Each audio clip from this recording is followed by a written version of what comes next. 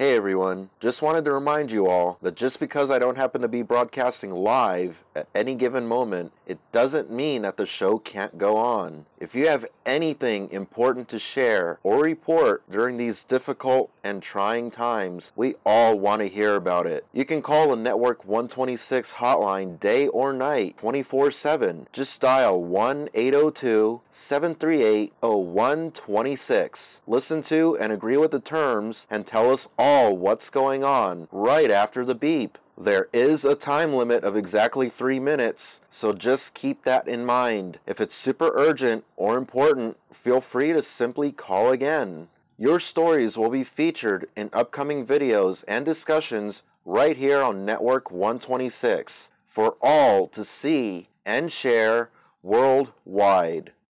Call now.